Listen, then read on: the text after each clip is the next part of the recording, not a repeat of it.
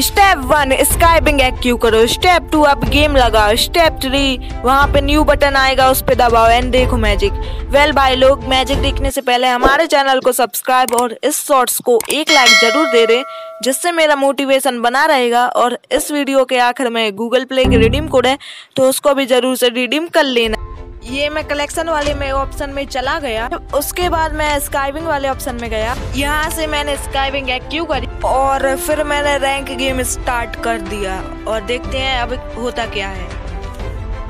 ये मैं गेम में तो आ चुका हूँ भाई, और मुझे तो कुछ भी अलग वाला बटन नहीं दिख रहा भाई। वो सारे के सारे सेम वाले बटन है भाई। ये क्या मैजिक था भाई। भाई कुछ भी मैजिक नहीं दिखा भाई यार। बहुत बस्टेड मिट्टा भाई।